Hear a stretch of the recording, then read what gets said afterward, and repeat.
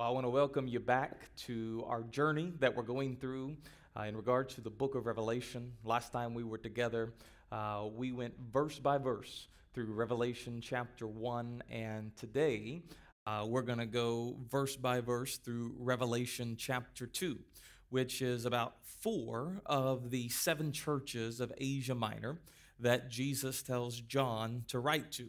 And so before we open up chapter 2, let me refresh your memory out of chapter 1. I'll just read to you a couple verses Revelation 1, verse 9. I, John, this is John, the beloved apostle of Jesus, your brother and companion in the suffering and in the kingdom, in the patient endurance that are ours in Jesus. I was on the island of Patmos because of the word of God and the testimony of Jesus. On the Lord's day, I was in the Spirit, and I heard behind me a voice like a trumpet, which said, Write on a scroll what you see and send it to the seven churches Ephesus, Smyrna, Pergamum, Thyatira, Sardis, Philadelphia, and Laodicea. And so these are the seven churches that Jesus is going to speak to he is going to utilize John to write this down, to send it to these different churches. And it's really interesting because people over the last 2,000 years, they've asked the question uh, why these seven churches? I mean, there's so many churches at this point. We're nearing the end of the first century and the church has blossomed from Jerusalem to all over the Roman Empire. So, why these seven churches? Why not the church of Jerusalem, the mother church? Why not the church of Antioch, uh, where the believers were first called Christians? Why these seven churches? And uh, there's actually three answers to that. One, these are literal churches that John was writing to, that he was the bishop of. You see, John was the bishop of Asia Minor.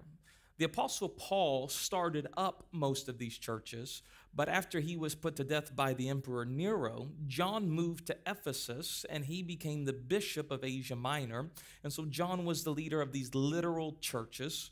But not only are they literal churches, what we will see through church history is that these seven churches have a prophetic significance, a timeline for the history of the church. And then they're also extremely practical every church over the last 2,000 years can relate to these seven churches and the issues that we face. And not only is it practical for churches, it's very practical for believers. And so today, we will look at four of the seven churches uh, that are presented in chapter 2. And then chapter 3 is the last three churches. And what we'll see is that Jesus gives a performance evaluation uh, to each one of these churches that he is personally observing and he tells them what he sees. And it's interesting to think and ask the question if Jesus was to give your church, my church, a performance evaluation, uh, what would he actually say? And so today we begin the journey in Revelation chapter 2 with the first of the seven churches. Revelation 2, verse 1, it reads, to the angel of the church in Ephesus write, These are the words of him who holds the seven stars in his right hand, and he walks among the seven golden lampstands. Now, what you'll notice is, eh, to all seven churches, Jesus will say the exact same thing starting out. To the angel of the church in, whether it's Ephesus or whatever the case may be. I actually have a map of these seven churches in Asia Minor, and you can kind of see Ephesus was the port city. It was called the gate uh, to the east, and there was a road that went from Ephesus to Smyrna to Pergamum, over to Thyatira, down to Sardis, to Philadelphia, to Laodicea, and then back to Ephesus. It was a road of commerce, and this road of commerce was utilized in Asia Minor. And so, what's interesting here Jesus begins with the church in Ephesus, and he says, to the angel. Now, some people have taken that, that each church has its own angel, and uh, whether that is the case or not, I really don't know, but Jesus is not speaking of an angel, angel here. or to any of the other churches. The Greek word here is angelos, and angelos can mean messenger, human, or divine. So, angelos is simply the Greek word for messenger. It can mean an angel, uh, but it can also be an earthly messenger. And in the case to the seven churches, Jesus is speaking to the earthly messenger of each of these churches, which would be the pastor. So you could literally read this as to the angel or to the pastor of the church in Ephesus, because here's what you've got to realize. When Jesus wants to speak to a local church, he will always go to the pastor first because Jesus doesn't bypass the spiritual authority that he himself has put into place. And so he's not speaking to an angel, he's speaking to the pastor of each of these churches. And that tells me and that informs me what the role, the primary role of the pastor is. The primary role of the pastor is to hear from Jesus and then to give a message from Jesus to the entire body. And so that's what we're going to see in all of these different churches. And then the word church is very important here as well. So we've got angelos, which is messenger, the pastor. And then we've got the word church. It's actually two different Greek words put together. The first one is ek, E K. And ek means out. The other word is kaleo, which means called. So when you put ek, kaleo together, you get ecclesia. And ecclesia literally means the called out ones. Now, what you got to realize, though, is that whenever the church first began, there wasn't Christian vocabulary. You know how we've got Christianese and other Christians, they understand the jargon that we use in our own circles. Well, whenever Jesus says, I will build my church and the gates of hell will not prevail, Jesus is using a borrowed word. You see, the first ecclesia was actually in Athens. It was a called out assembly of 6,000 men in Athens. It was the first ecclesia, and these 6,000 men would meet up on a hill. And there would be a messenger who would speak to the governing body. And this ecclesia in Athens would determine legislation, would determine direction for uh, the city and the people, and it was literally a governing body. So when Jesus says, I'm going to build my church, this is his governing body here on planet Earth.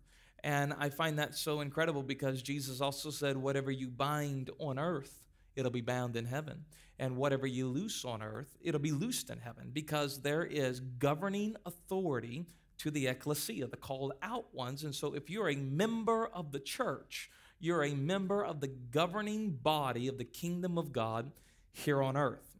And so, Jesus speaks to the church in Ephesus. Now, here's what you've got to know about Ephesus Ephesus was the largest church during the first century. Ephesus was bigger than the church in Jerusalem, it was bigger than the church of Antioch. Ephesus was the big church. Ephesus had a rich history. It was founded by the Apostle Paul. It was then pastored by Timothy, led by John, and then later on Onesimus, who you'll read about in the book of Philemon. And so Ephesus has a rich history.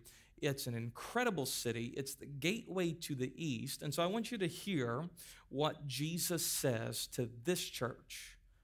Revelation 2 1, we'll read it again to the angel or to the pastor of the church in Ephesus, write.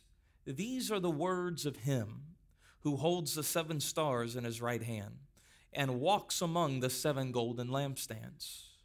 Jesus says, I know your deeds your hard work and your perseverance. I know that you cannot tolerate wicked people, that you have tested those who claim to be apostles but are not, and you have found them to be false. You have persevered and endured hardships for my name, and you have not grown weary. And so here, Jesus gives three commendations. He encourages this church. He says, You guys got sound doctrine. You've endured many trials and persecutions for my name. And then you also have good works. This is a good church. I mean, think about Jesus is telling this church you've got sound doctrine, you've got good works, and you've got uh, perseverance. You've endured for my name. And so this is a really good church. Not only is it a big church, it's a really good church. But every church has its issues. Every church, including this one right here. There's a twist that comes in verse 4. Verse 4, Jesus says to the church in Ephesus, Yet I hold this against you. You have forsaken. You could translate that you have left, not lost. You have left the love that you had at first. And what I find interesting here is that Jesus tells this church you've got sound doctrine, you've got good biblical preaching and teaching, you've got good works. This is a church that's out making a difference in the world around them. They've endured persecution, they've not compromised. But Jesus says you've got everything except the most important thing. You've got everything but the main thing. You have left. Now, they didn't lose, they left the love they had at first. And what's interesting is 35 years before Jesus will say these words to this church in Ephesus, the Apostle Paul penned a letter to the church in Ephesus. We call it the book of Ephesians. And 35 years before this, Paul raved about the love in the church of Ephesus. And so, over 35 years, their love had grown cold and they had just been going through the motions. They knew what to do and they were going through the motions. And for those of us who have been going to church a long time, it is easy to know what to do, to just go through the motions, but our hearts not to really be in it. And so, what this church in Ephesus needs, it really needs revival. Now, when I say the word revival, here's what I know depending on your background. Revival could mean church for two weeks straight with a preacher who screams for three hours, or revival can mean many different things to many different people. But what revival really is, is a reinvigorating force in life that makes something uh, that once you had a passion for, that you become passionate again for. You have to realize that revival is not for unbelievers because you cannot revive those who have never been made alive in the first place. So, revival is not for the unchurched. Revival is for people like us, people who are part of the church of Ephesus. They need revival. And what's so beautiful in verse 5, Jesus gives this church and all of our churches the recipe for revival. Look at what Jesus says in verse 5. He says, Look how far you have fallen. Turn back to me and do the works you did at first. If you do not repent, I will come and remove your lampstand from among its places in the church. And so Jesus gives what I call the three R's to revival. Here's if you want revival in your life, you want revival in your church, Jesus tells us exactly how to do it. Remember, number one, remember what God has done, remember the passion you had at first. Number two, repent. Now, that word repent is uh, a not so popular word right now among many Christians. I think it's a bad word, but repentance is a beautiful thing. Repentance literally means to change the way you think. And when you change the way you think, it'll change the way you behave because right believing produces right living. Wrong believing produces wrong living. So Jesus says, remember, repent, and lastly, return. Revival is not about discovering something new. Revival is all about rediscovering uh, the passion that you once had for Jesus. You can have sound doctrine, you can have good works, and you can have perseverance, but you also have to have a passion, a heart desire for the Lord as well.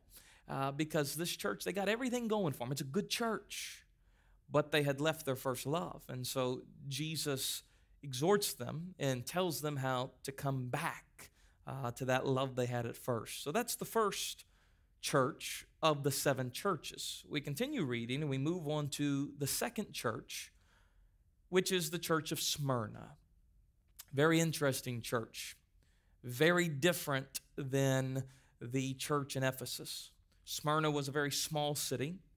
And Revelation 2, verse 8, Jesus says to this church and to the angel, to the pastor of the church in Smyrna, write These are the words of him who is the first and the last, who died and came back to life. So notice Jesus is using the same template to introduce himself to each of these churches. Verse 9 Jesus says, I know.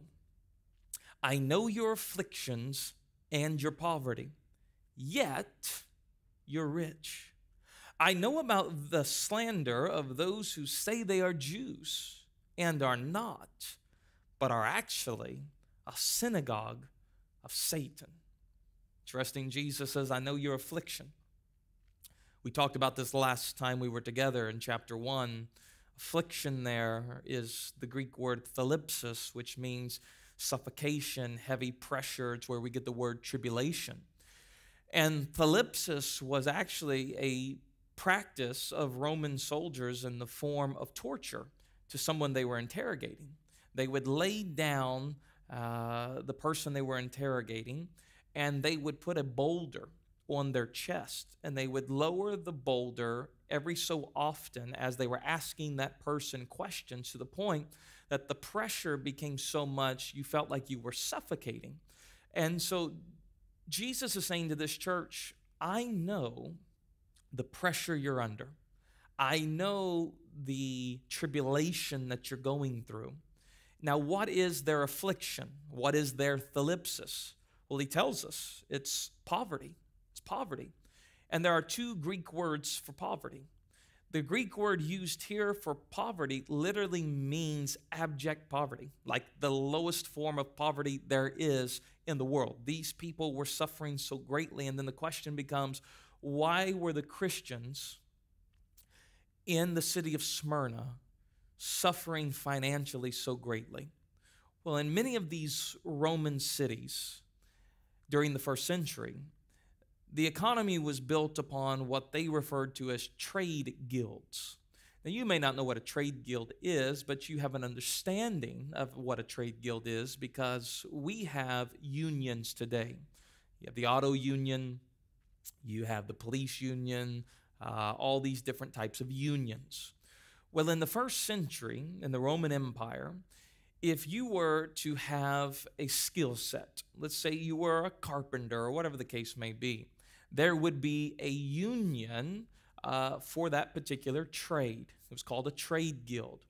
And each of the trade guilds, they had a patron god. So each trade guild had a god that was for that particular trade.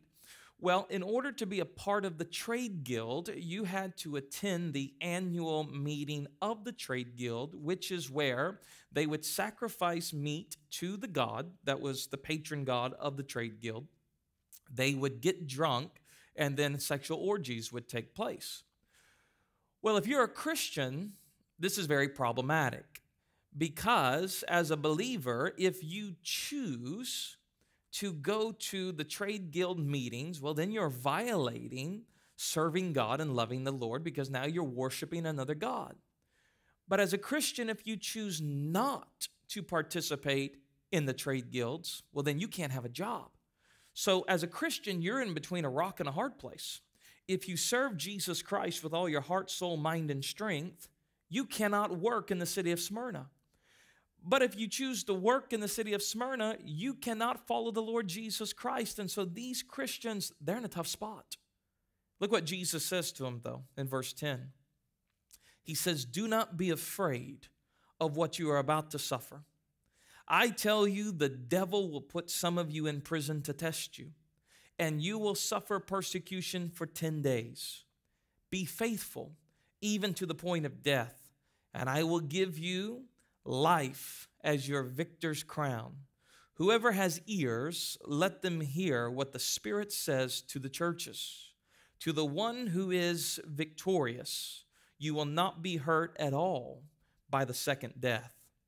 And so I find it interesting this small church, that is going through great persecution and thlipsis.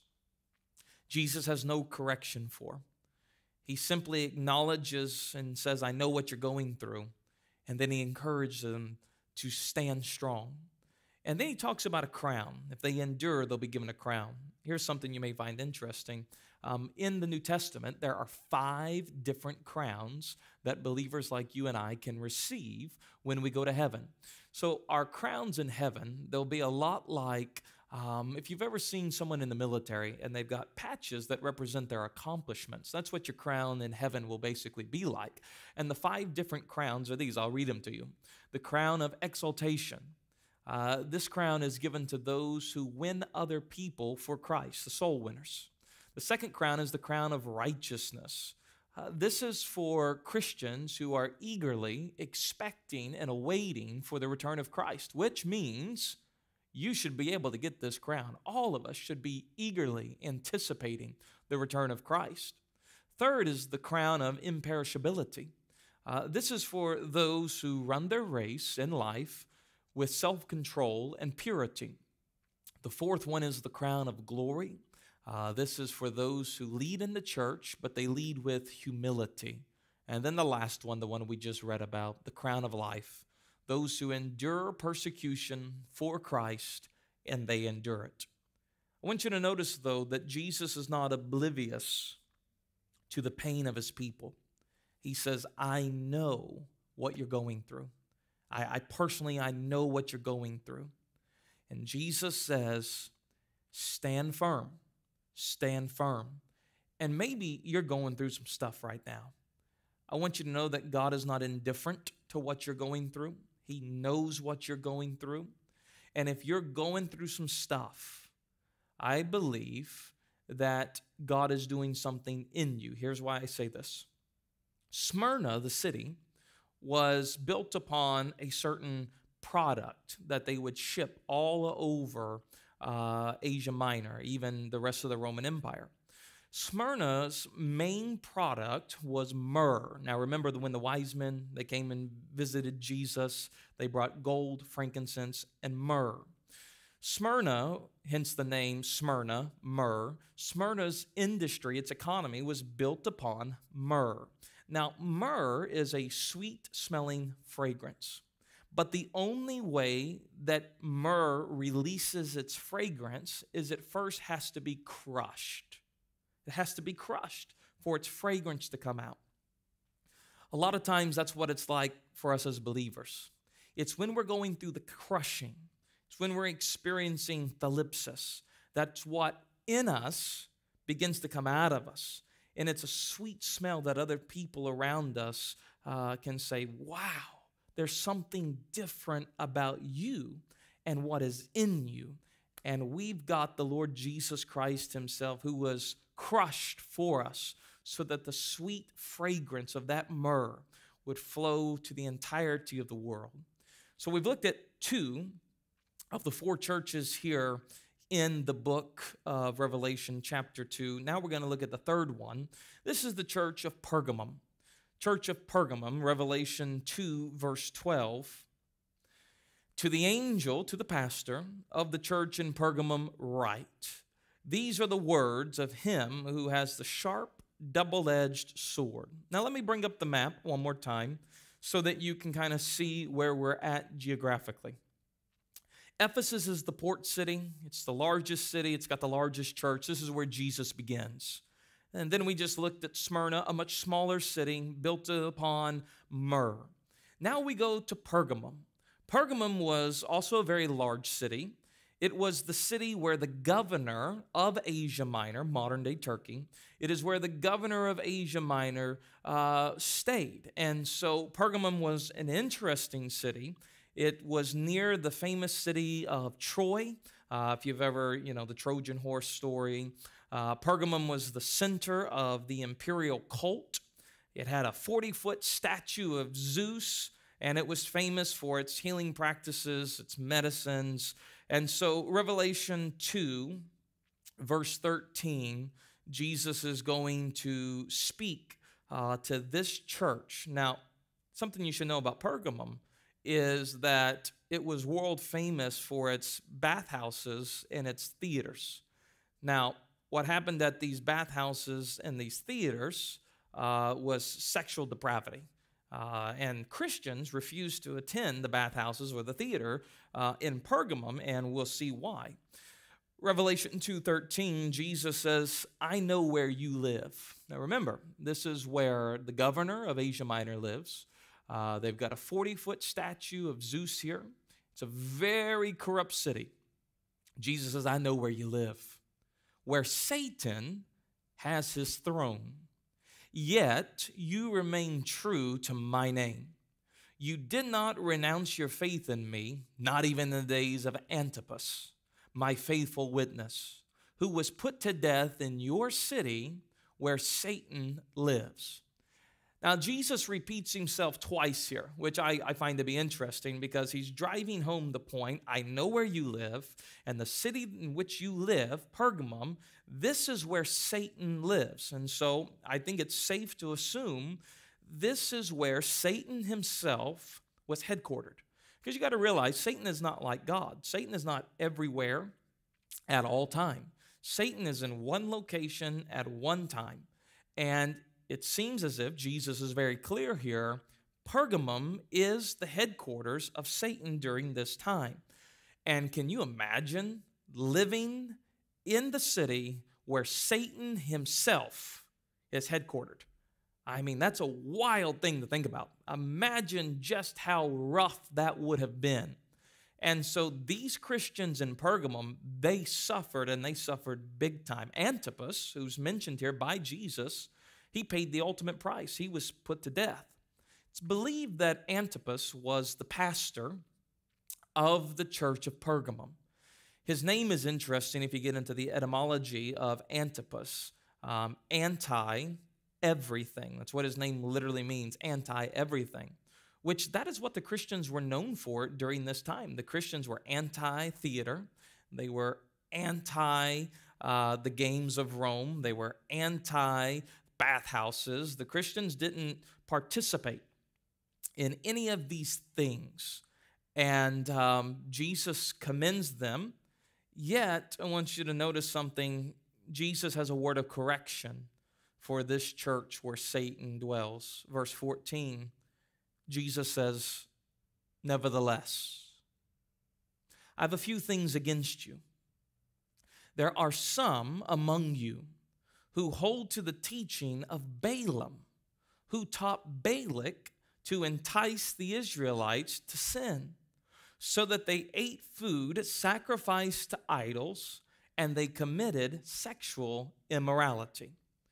Well, to understand what Jesus is saying here, you have to know who Balaam is, who Balak is, and this is a story in the Old Testament. It's actually in the book of Numbers. It's that book that nobody ever reads because it's kind of boring.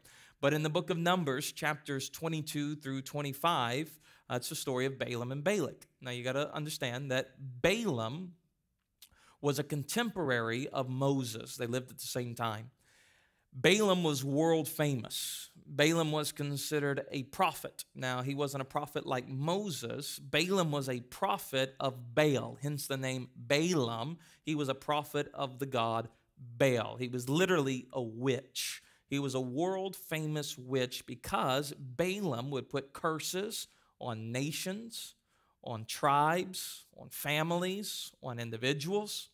And so there's a king, the king of Moab. His name is Balak. Balak sees the Israelites coming in his direction and he's terrified. These are the Israelites that just took down the mighty Egyptian empire. Balak doesn't know what to do. And so Balak gets an idea. I'm going to hire this witch called Balaam to come and curse the Israelites. And so Balak sends an offer to the witch, and uh, Balaam says, No, no, I'm not going to take your money. But then Balak says, I will give you a house full of silver, a house full of gold. And Balaam says, Count me in, here I come. And so Balaam comes to cast a spell on the Israelites. And it's interesting what Balaam says after he tried seven times. So, this witch, who's world famous for casting spells, Seven times he tries to curse the Israelites. Numbers 23, verse 7, it says, Then Balaam spoke his message. Balak brought me from Aram, the king of Moab, from the eastern mountains.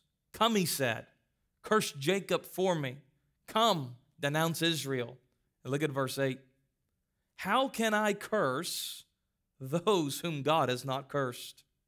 How can I denounce those whom the Lord has not denounced? You know what that tells me? The most powerful witch on this planet today has no power over God's people.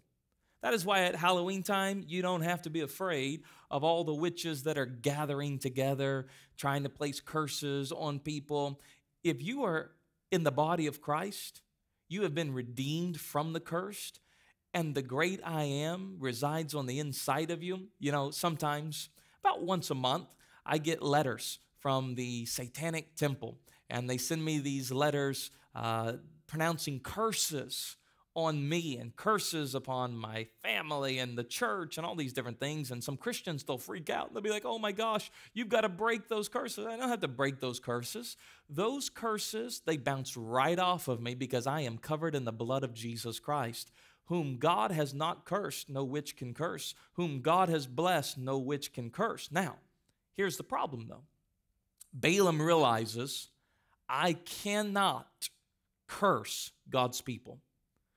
But Balaam comes up with an idea. I may not be able to curse God's people, but God's people, through their own decisions, can bring about cursing upon themselves. And look at what Balaam tells Balak to do in Numbers 25. He tells Balak you can entice God's people into a trap. In Numbers 25, verse 1, it says, While Israel was staying in Shittim. Now, you got to have a strong emphasis on the I there. It's Shittim. Shittim. The men began to indulge. This is the Hebrew soldiers. They begin to indulge in sexual immorality with Moabite women. So, what Balak literally does, he sends a bunch of Moabite women completely naked, no clothes on at all, to a group of Hebrew soldiers that haven't seen their wives in a long time. And they fell for the trap. These Moabite women who invited them to the sacrifices of their gods. The people ate the sacrificial meal and bowed down before these gods. So Israel yoked themselves to Baal of Peor and the Lord's anger burned against them. So when Jesus says to the church of Pergamum, some of you are holding to Balaam's doctrine. What is he saying? There are some of you in this church that although Satan cannot curse you, even though you live in his city, because you are compromising, you are bringing about a curse upon yourself. You see, the wages of sin, it's death. As surely as sin goes, death does follow. And so Jesus is challenging this church to repent. Now look at verse 15. Likewise, you also have those who hold to the teaching of the Nicolaitans. Now, I didn't read this verse earlier to you, but Revelation chapter 2, verse 7 is Jesus speaking to the church in Ephesus, and he says, You've got this going for you. You hate the deeds of the Nicolaitans just as I hate the deeds of the Nicolaitans. Well, here Jesus brings up the Nicolaitans again, and he says, Repent therefore, otherwise I will soon come to you, and I will fight against them with the sword of my mouth. So the question then becomes all right, who are the Nicolaitans? Why does Jesus hate their deeds, hate their doctrines. And what does that say to us today? Well, the Nicolaitans were a group of early Christians, they claim to be Christians, that fall under a category that we now label as Gnostic Christians. Gnostic Christians, they tried to blend Greek philosophy with Christian theology. And this is what they believed They believed that you were a good spirit stuck inside an evil body, that your spirit is inherently good and your body is inherently evil. And because you have a good spirit stuck inside an evil body, salvation is literally escaping the evil material world and entering into the pure, the good, and the spiritual world. There's actually a painting that kind of describes this of the process of salvation, of somebody trying to escape the material world to enter into the spiritual world because the spiritual world is good, the material world is evil. That is Greek philosophy, that is not Christian theology. The Bible does not teach that the material world is evil. The Bible teaches that the material world is fallen. You see, when God created everything, He pronounced over everything, and it is good. The material world was created good, but because of sin, the material world is in a fallen state. And salvation is not escaping this material world. Salvation for us believers is not tasting the second death and having resurrected bodies. Our resurrected bodies are going to be physical bodies. Here was the problem with the Nicolaitans they believed that since your body was inherently evil and since your spirit was inherently good, there was two camps. There was the strict ascetics who said, starve your flesh. No sexual enjoyment, no good food, no pleasures in life. Starve your evil body. And then there was another camp. These were the libertines. They said, well, since your body is already inherently evil, evil plus evil is evil, and since your spirit is inherently good and that can't change, you might as well enjoy life while you're here and do anything and everything you want to do in your body because it doesn't matter. Your body is already evil. And Jesus says, I hate the deeds of the Nicolaitans because they have brought about mixture.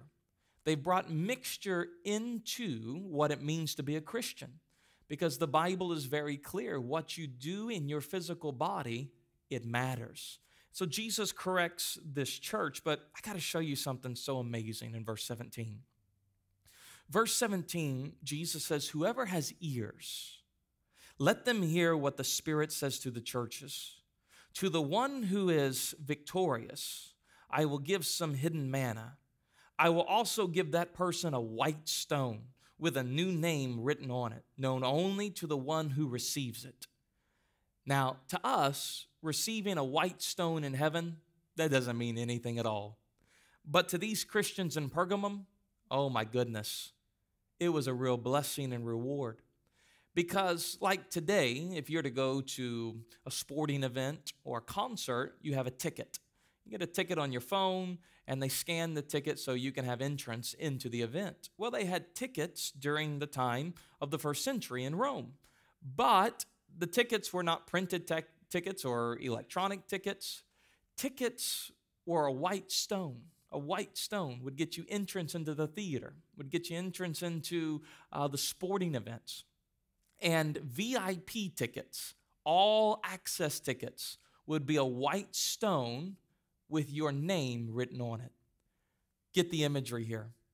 Jesus says, In this life, you may not get a ticket to the theater, you may not get a ticket uh, to some of the stadiums where they're doing terrible things. But Jesus says, if you'll endure, when you enter into glory, I'm going to give you not just a ticket in the heaven, I'm going to give you a ticket with a new name written on it. You're getting a VIP, all access ticket for eternity into heaven with me. And you got to imagine how encouraging that must have been for the church of Pergamum. Now we've looked at three. Now we're to our fourth and final church of Revelation chapter 2. It's the church of Thyatira. And let's read it here. To the angel of the church in Thyatira, write. Now, pull up the map real quickly so we can see just where this particular city is. So, Thyatira was to the east of Pergamum, Now, you have to remember, Pergamum was the capital city uh, of Asia Minor. And so Thyatira actually becomes a military outpost as a first line of defense to protect Pergamum from invaders from the east. Pergamum was uh, uh, the big city, the capital city. Thyatira, however, was a small military outpost uh, that was meant to defend Pergamum. So, in the city of Thyatira, you've got all these soldiers, you've got all these needs. They need food, they need clothing, they need shelter. And so here comes the trade guilds, the trade guilds to Thyatira. So just keep that in the back of your mind as we continue reading Revelation chapter 2, uh, verse 18. To the angel of the church in Thyatira, write These are the words of the Son of God whose eyes are like blazing fire and whose feet are like burnished bronze. Now remember, we read about this in chapter 1. I know your deeds, your love and faith, your service and perseverance, and that you are now doing more than what you did at first. Nevertheless, I've got this against you. You tolerate that woman Jezebel. Uh oh in every Christian church, people who get mad at other people, especially when it comes to getting mad at a woman in the church, they'll say, You're a Jezebel. And so we're going to find out what that actually means.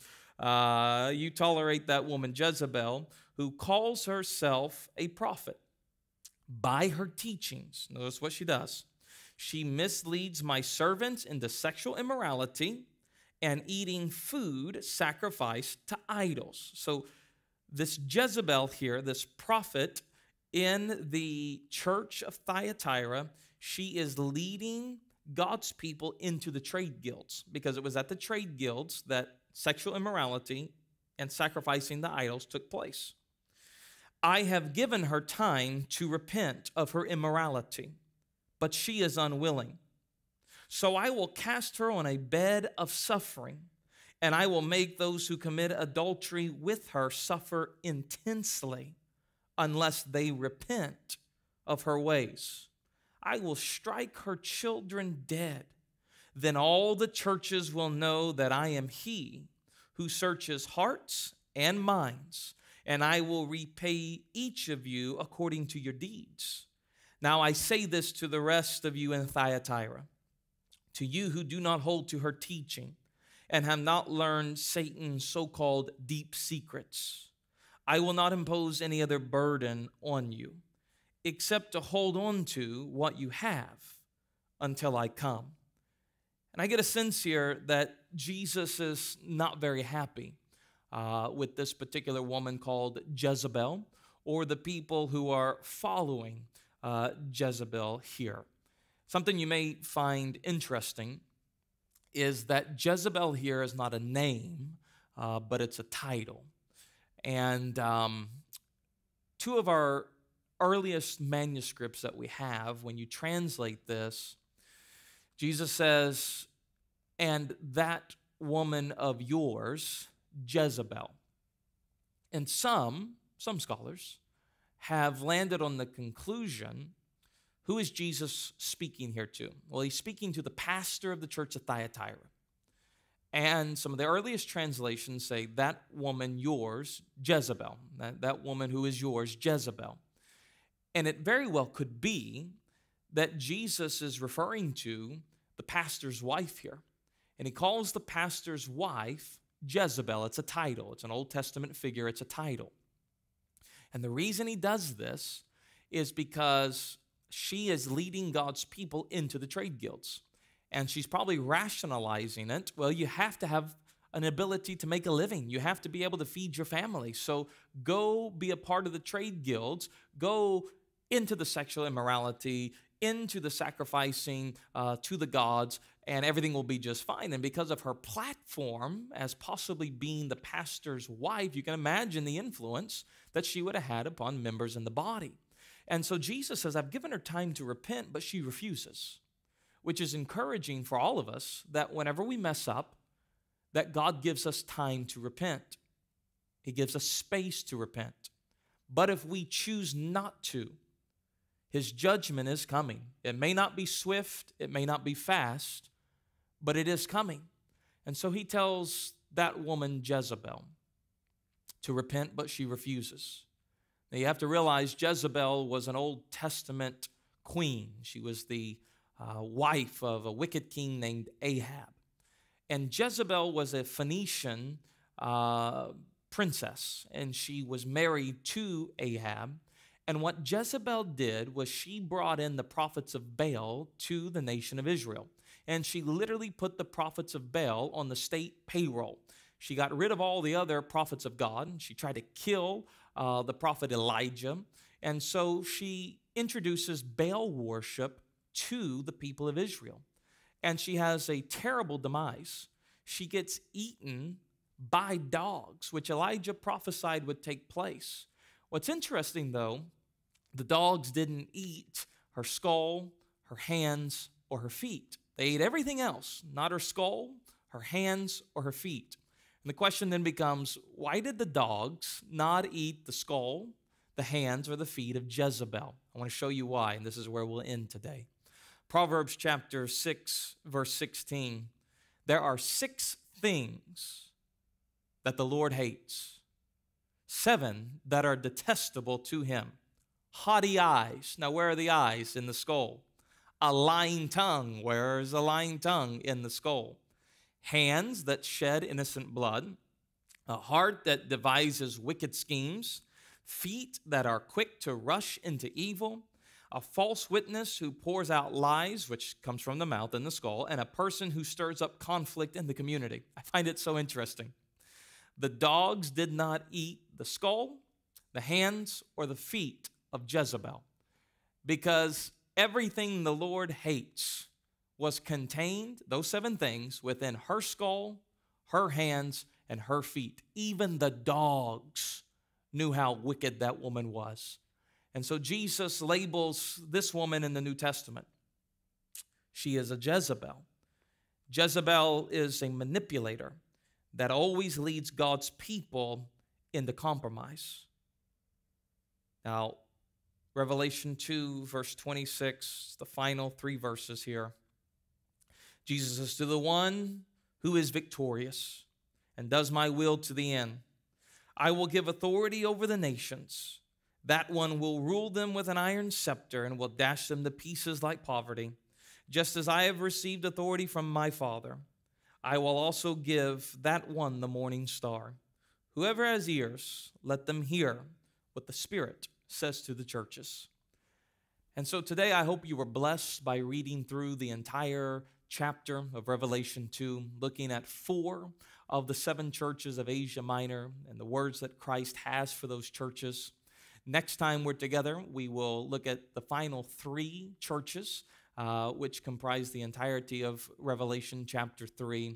And we will continue on this journey through what is arguably uh, one of the most fascinating books in all the Bible, the book of Revelation. I hope today you were blessed, and I look forward to seeing you next time. God bless you.